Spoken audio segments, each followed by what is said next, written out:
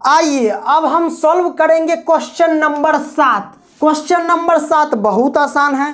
Question number सात कहता क्या है कि उस एपी का इकतीसवां पद ज्ञात कीजिए। देखिए एपी का इकतीसवां पद ज्ञात करना, यानी ए इकतीस बराबर वाट, यही ना ज्ञात करना है इकतीसवां पद ज्ञात करना है। तो इकतीसवां पद ज्ञात कीजिए, जिसका ग्यारहवा पद अड़तीस है। देखिए भैया ग्यारहवा पद यानी ए ग्यारह बराबर कितना दे रखा है? अड़तीस। यानी ग्यारहवा पद अड़तीस हो गया।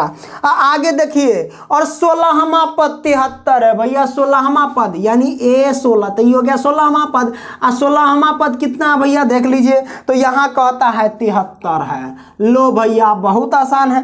हमें क्या करना है? रेक्तिसवा पद याद करना है? अच्छा ये बताइए। हम आपको तो फॉर्मूला बताएँ। ए एन बराबर A plus N minus one into D हम उस फॉर्मूला को हम कहेंगे दूर साइड ऐसा क्वेश्चन को इकतीस का फॉर्मूला इसका निकाल रहे हैं ना तो आप क्या कीजिए? बहुत आसान है।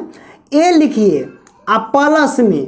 क्या लिखना है? प्लस में। इकतीस है ना, एक पॉइंट कम करेंगे। एक पॉइंट कम करेंगे तो तीस होगा, आई हो जाएगा डी यानी ए इकतीस का फॉर्मूला यानी इकतीसवां पद का फॉर्मूला ये आ गया। तो इस फॉर्मूले में हमें निकालना है इकतीसवां पद की वैल्यू। तो यहाँ ए और डी की वैल्यू हमें पता होगा, तब ना इकतीसवां पद निकाल लेंगे। तो ए डी हमको पते नहीं है तो ए डी हम निकालेंगे किसकी मदद से? इसकी और इसकी मदद से। बहुत आसान है। आप क्या कीजिए, यहाँ से ग्यारहवा ए ग्यारह बराबर तीस है ना? अच्छा तो आप बताइए भैया कि ए ग्यारह का फॉर्मूला यानी ग्यारहवा पद का फॉर्मूला क्या होगा? तो आप बहुत एकदम सिंपल से देखिए। आप ए लिखिए ए ग्यारह का फॉर्मूला ए लिखिए, आप प्लस में ग्यारह से एक पॉइंट घटाइए तो दस होगा, और वो दस में डी से गुना कर दीजिए। देखिए ए ग्यारह का फॉर्मूला निकल करके आ गया, ठीक है? अब बराबर में तीस है तो तीस लिखिए। अड़तीस है सॉरी तो अड़तीस लिख दीजिए। ओके, मैं थोड़ा फ़ैन चालू कर लेता हूँ। चलो, ठीक है? बढ़िया है। अब यहाँ पे तो हम लिख दिए अच्छा इसको हम समीकरण एक मान लें। समीकरण एक मान लिए। अब ए सोलह का फॉर्मूला अब ए सोलह का फॉर्मूला क्या लिखेंगे? देखिए यहाँ पे ए सोलहवा का ना सोलहवा पद का फॉर्मूला इसको लिखेंगे ए आप प्लस में सोलह है ना, एक पॉइंट घटाई पंद्रह, अब पंद्रह डी पंद्रह में डी से गुना कर दीजिए, अब बराबर तिहत्तर है तिहत्तर। इसको मान लीजिए समीकरण दो। इसको मान लेंगे समीकरण दो। यहाँ तक समझ में आया कि नहीं आया? बहुत आसान है, समझ में आ गया होगा। अब देखिए, हम क्या करते हैं भैया तो इसका तो फॉर्मूला ही लिख दिए, इसका फॉर्मूला ही लिख दिए। हम क्या समीकरण एक समीकरण दो है तो इसको लिख देंगे हम घटाने पर। क्या लिखेंगे? घटाने पर। याद रखिए, जब घटाने पर लिखते हैं तो जो प्लस होता है वो माइनस है, जो माइनस होता है वो प्लस तो ये प्लस का तो ये माइनस ये भी प्लस का तो माइनस अभी एगो प्लस का, एगो माइनस का, ये ऐसे कैंसिल कट गया? कट गया कि नहीं? तो ये कट गया हमारे पास। अब बचा हमारे पास क्या?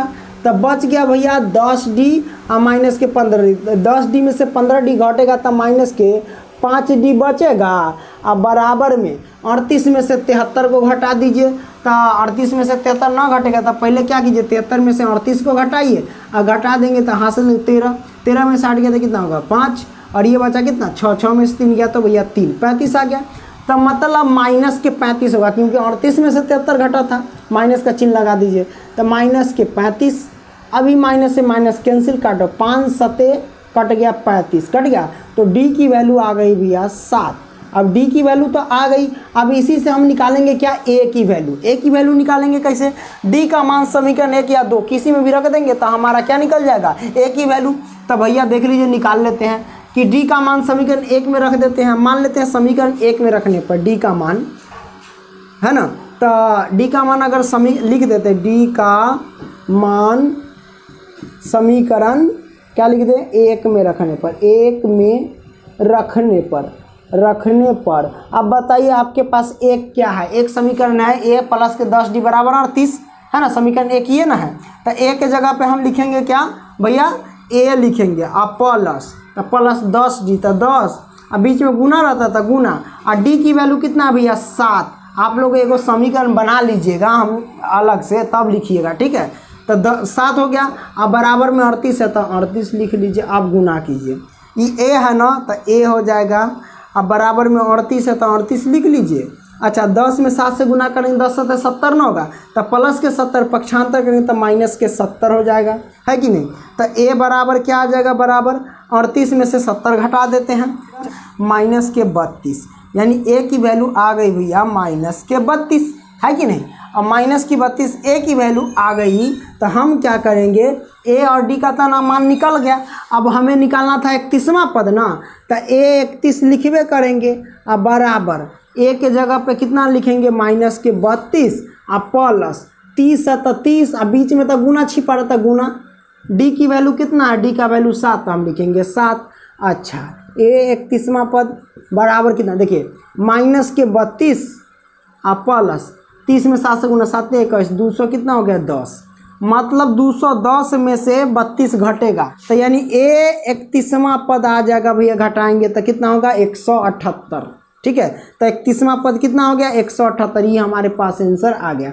बहुत आसान था, एकदम सिंपल आपको हम बता देते हैं क्या करना है।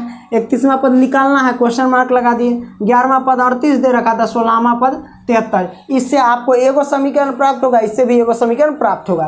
तो मैंने एक समीकरण एक और दो, इससे प्राप्त कर लिया।